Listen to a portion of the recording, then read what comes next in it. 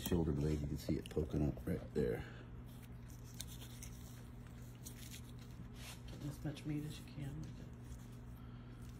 There's no joint in the shoulder blade, so it just comes right off. Get rid of this little bit of bloody meat. Dogs will be happy.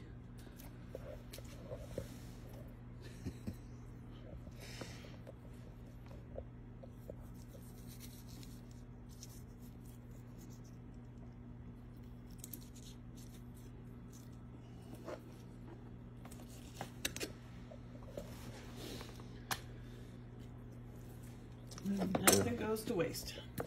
Belly flaps. Go right along the edge of the ribs.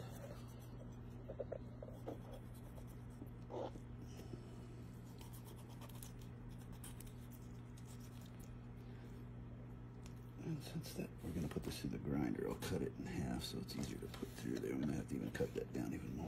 So we're putting the legs and thighs in the in uh, one bowl to can, and then the belly flaps and any meat we can trim off, any fat we can trim off. We're putting in another bowl to grind up to make sausage. And there's a fl- there's a flat muscle here that's not much meat, but it'll be fine for putting in the grinder. Give it a little texture.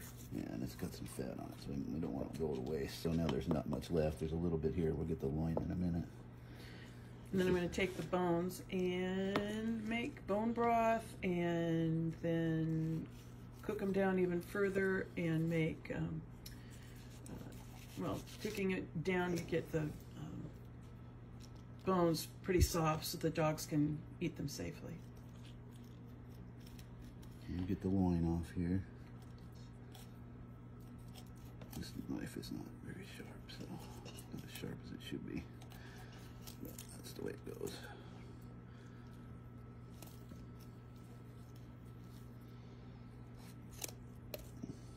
This is the part that's slightly different from other critters. They don't have this big of a. They just have a back strap, not this giant muscle that goes all the way down there. Yeah, that's what makes them run fast. Right in here somewhere.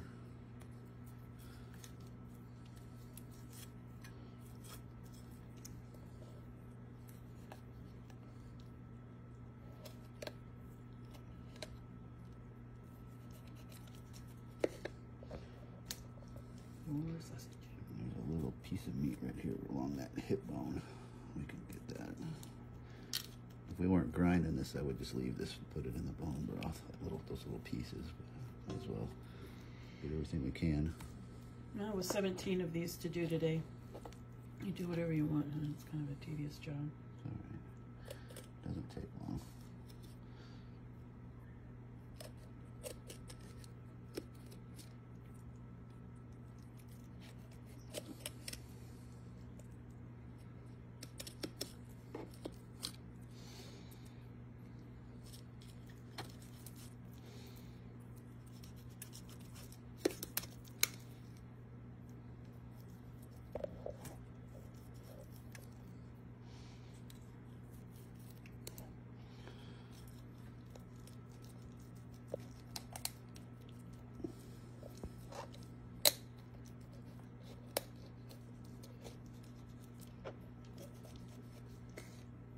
A little bit more meat down here. We can use one of these knives to get that out.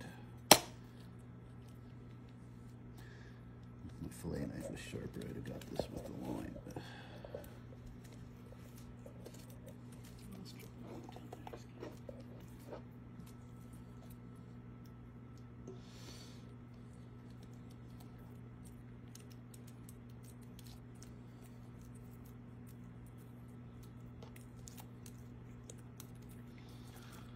that's good enough. I'm taking the loin off.